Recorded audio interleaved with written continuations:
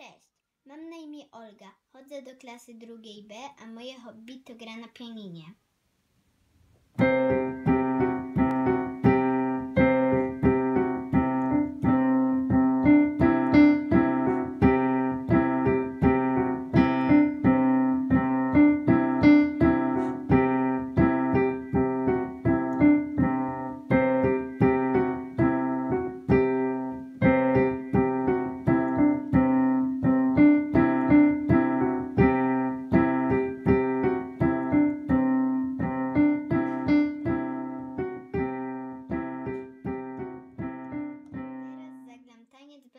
Пока-пока.